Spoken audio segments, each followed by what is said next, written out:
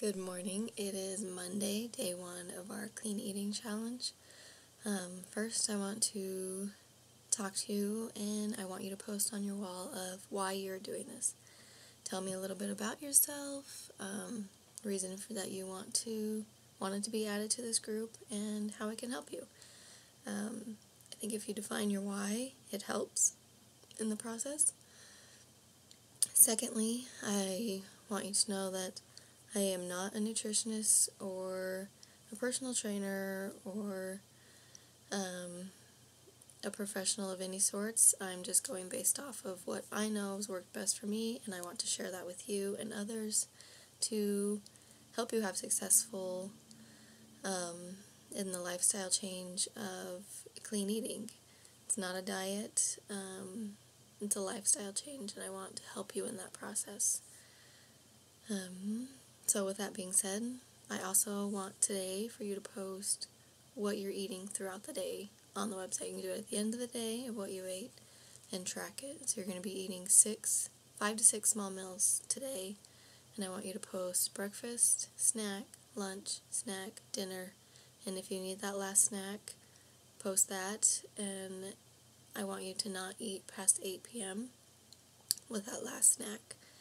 Um, 8 p.m. being the cutoff, and um, you need those five to six small meals to help regulate your metabolism so you're not up and down, up and down, up and down, that you're more stagnant and keeping that metabolism the same.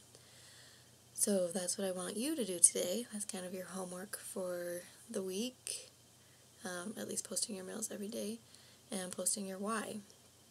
So I'm going to have a few tips for you today. Um, the first being um, I don't want you to eat any carbs past 8 p.m. So no carbs past 8 p.m.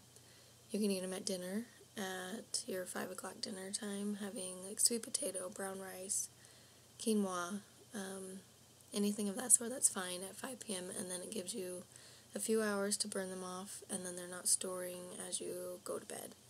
So that's tip number one.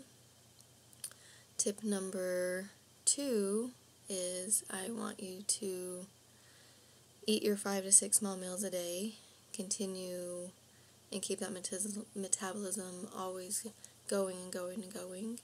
Um, help you in the process of speeding it up and always fueling it in the proper way.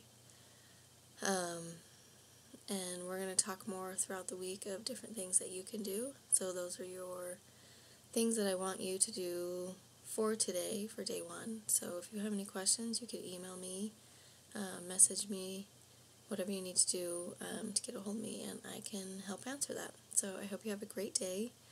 Welcome, have fun. Um, we'll talk more um, about what you need to do. So, thanks.